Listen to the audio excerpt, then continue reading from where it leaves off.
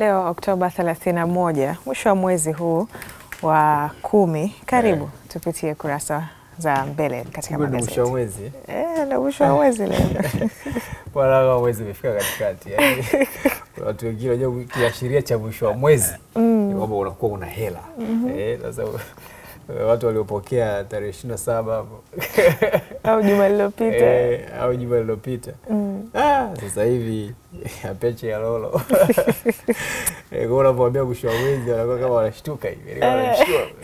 Ah, kumbe mwisho mwezi bado. Bado hatujaanza hata mwezi wa wa kumi na moja. Haya bwana, sawa, tuanze na Mwananchi. Kubwa, askofu akemea unafiki kwa rais, awataka wasaidizi wa Rais Samia Suluhu Hassan walio karibu zaidi kumshauri bila unafiki wala maslahi binafsi. Asisitiza kila mtu anapaswa kumsaidia kuleta maendeleo. Amgusa Lowassa na harakati za urais.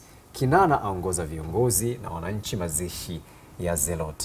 Alikuwa Alikuwa e, mwenyekiti wa Chama cha Mapinduzi mkoa wa Arusha, kamanda wa zamani wa jeshi la polisi mkuu wa mkoa e, wewe kuwa pia mkuu wa mkoa na e, nafasi nyingine kemkem ambazo waliwahi kuitumikia nchi yetu, lakini kubwa lililojitokeza katika mawaidha ama mahubiri ya Askofu e, Solomon Masangwa e, askofu wa kanisa la Kiinjili la Kilutheri Tanzania Dayosisi ya Kaskazini Kati amesema sisi sote ni wasaidizi wa rais, lakini kuna nyie mlio karibu na rais. Na waomba mumshauri rais wetu kwa ukweli bila unafiki na bila kutanguliza ubinafsi, kumwambia ukweli. Eh.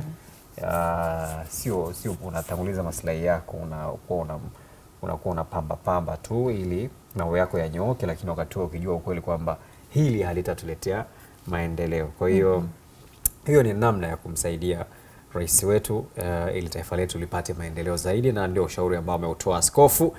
Utata mkuu wa shule akidaiwa kutomasa wanafunzi wake ni eh, eh, kule Ngorongoro ambako kuna mkuu wa shule anatuhumiwa kwa kuwatomasa watoto, kuwafanyia udhalilishaji watoto wa kike katika shule hiyo, ambayo yeye mwenyewe amekanusha. Anasema pia wanao- wanao- wanaosema hivyo wanamwonea wivu na nini. Kwa hiyo uchunguzi unaendelea, tutapata zaidi katika ukurasa wa nne. Kortini tuhuma za kumteka na kumpora mwanamke mali. Majaliwa ataka fursa ya mikopo sekta ya anga. Dkt. Tulia asema kuna watu walitaka nisichaguliwe. Eh, na ndio hivyo kwenye, kwenye mambo ya uchaguzi ya bwana, kwenye kampeni hizi na nini, mm. kuna watu watakuwa hawataki kupata hiyo nafasi. Wanaweza wakawa wanatoka taifa lako au sio taifa lako, lakini muhimu ni kwamba baada ya uchaguzi kuisha, kama umeshinda au hujashinda, uh, yale yalijitokeza kwenye kampeni, michakato ya kampeni, nafikiri ni busara pia kuachana nayo ukaganga eh, yaliyo mbele. Simulizi mauaji ya Kombe, eh, risasi 15 zilivyotua mwilini mwa bosi usalama wa taifa. Sasa hii inasimulia zaidi tukio lililotokea mwaka 1996 uh, kule maili sita mm, uh, hai mm -hmm. uh, Moshi ambapo aliyekuwa uh, bosi wa usalama wa taifa, mkurugenzi wa usalama wa taifa Imran Kombe eh, aliuawa. Kwa hiyo utata wote uliopo, matukio yote na kesi ilivyokwenda, yote hayo utaipata katika simulizi hiyo eh, ya kihistoria kwelikweli, na moja ya simulizi ambazo ziliwahi ama matukio ambayo yamewahi kutikisa katika nchi hii. Zaipuna afichua siri ya mafanikio NMB kivuna faida tena, na taarifa nyingine kemkem utazipata zaidi katika gazeti hilo.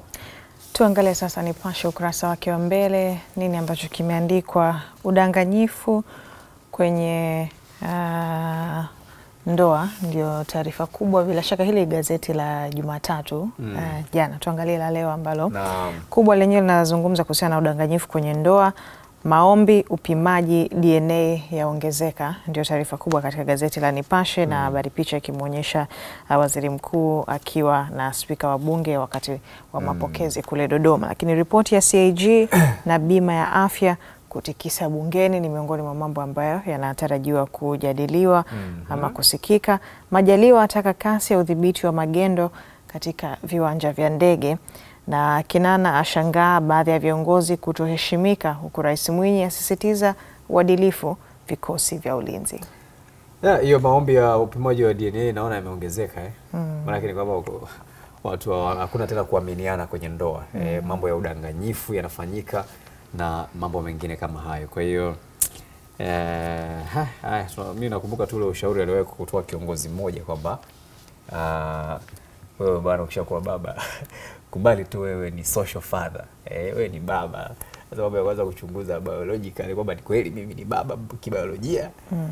hayo mambo yanaweza kufanya uka familia ikasambaratika. Kwa hiyo akashauri bana kina baba wewe tu wewe tulia tu mambo yaende Eh, haya bwana, tuangalie ukurasa mwingine tuone kuna nini baada ya Nipashe. Tutazame gazeti lingine, tutazame sasa gazeti la Habari Leo, tuone nini ambacho kimeandikwa. kubwa. Tulia asema sera Tanzania zimenipa ushindi, amshukuru Samia akerwa na kampeni chafu. Majaliwa asema nchi itamtumia kwenye ajenda uh, Umoja wa Mataifa, na ndio kubwa hilo katika gazeti hili. Lakini Majaliwa ataka udhibiti viwanja vya ndege. Tanzania yaongoza bei ya korosho uh, Afrika, ni kama ambavyo mkurugenzi pia Yeah. wa, wa soko hilo la korosho ame- amefafanua katika Mkurugenzi wa bodi ya bodi ya korosho. korosho na katika uh, habari saba kotini, tuhuma kuteka na kupora Dar es Salaam. Watanzania wanaodaiwa kutekwa Israel wataja uh, ni mm -hmm, mm. ni kama uh, matumaini, kwa sababu familia zilikuwa zina taarifa pia mm. zozote kutokana na kile ambacho kinaendelea.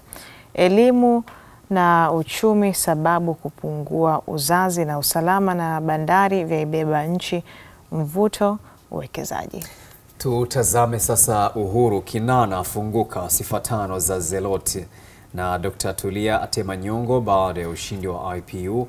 Majaliwa watoa maagizo TCAA saba kizimbani Dar es Salaam, tuhuma za utekaji. Mwenyekiti UWT akemea ubakaji wa watoto Zanzibar. Rais Mwinyi aviasa vikosi vya serikali ya mapinduzi ya Zanzibar. Na tumalizie kwa muhtasari na gazeti la Zanzibar Leo. Dr. Mwinyi asema bila ya nidhamu hakuna jeshi na Chatanda ataka ushirikiano kukomesha udhalilishaji. Waziri ahimiza utafiti wa mazingira uzalishaji chumvi, na Dr. Biteko ataja manufaa Tanzania kujiunga IRENA. Mamia ya wagonjwa wamekwama hospitali za Gaza. Hiyo ni taarifa iliyotolewa na Umoja wa Mataifa. Tukamilishe hivyo. Azam TV, burudani kwa wote.